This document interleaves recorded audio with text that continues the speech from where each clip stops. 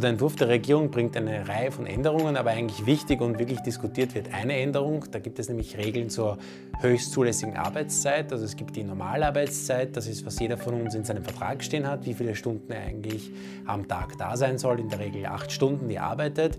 Und dann gibt es die höchst zulässige Arbeitszeit, das ist, wenn zum Beispiel besonders viel zu tun ist in einem Unternehmen oder besonders viel anfängt in einem Industriebetrieb, in einer Werbeagentur, wo auch immer. Und bisher galt, dass eigentlich im Regelfall die maximale Arbeitszeit an einem Tag auf zehn Stunden ausgedehnt werden kann.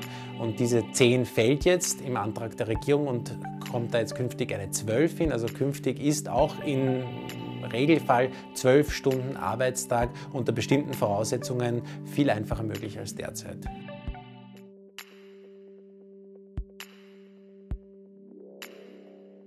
Die Regierung hat ein wichtiges Argument und auch die Arbeitgeber. Das ist, ein 12-Stunden-Arbeitstag ermöglicht mehr Flexibilität, ermöglicht den Arbeitgebern einmal mehr Flexibilität und im Idealfall vielleicht sogar den Arbeitnehmern. Das heißt, wenn man sich so einteilt, es fällt zum Beispiel besonders viel Arbeit an, dann spricht doch einiges dafür, lasst uns das besonders schnell erledigen, lasst da uns reinarbeiten und danach kann man sich vielleicht, so die Theorie, die Freizeit auch wieder besser einteilen, mehr frei haben. Das heißt, es ermöglicht zum Beispiel Unternehmen, die Arbeitnehmer effektiv zu nutzen und wirklich dann zu bezahlen, äh, also wirklich dann zu nutzen, wenn sie sie brauchen und in Ruhezeiten, wenn weniger zu tun ist, dass dann wiederum Urlaube, Gutstunden, Freizeit konsumiert wird.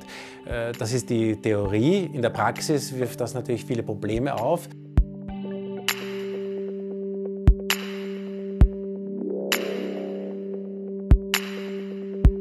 Also ein Problem ist, es gibt viele Unternehmen, wo es einen Zwölf-Stunden-Tag gibt, zum Beispiel in der Industrie, wo sich das Arbeitnehmer und Arbeitgeber eben ausverhandelt haben, zu welchen Bedingungen, zu welchen Konditionen, denn da geben die Arbeitnehmer etwas her, sie sind bereit, länger zu arbeiten.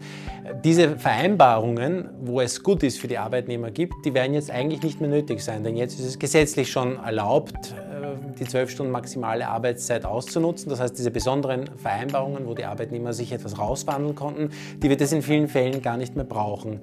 Ein zweiter Streitpunkt, ein großer Streitpunkt betrifft die Gleitzeit und das ist ein sehr komplizierter Fall, aber im Endeffekt geht es darum, dass in der Gleitzeit die 11. und 12. Stunde bisher, zumindest in der Theorie, jedenfalls als zuschlagspflichtige Überstunden angefallen sind und wenn man jetzt auch 12 Stunden gleiten kann, dann könnten diese Überstundenzuschläge wegfallen. Das heißt, die Arbeitnehmer äh, verlieren auch Geld. Da sagt die Regierung, nein, das wird nicht so sein, aber warum das nicht so sein sollte, das kann sie bisher nicht so richtig begründen.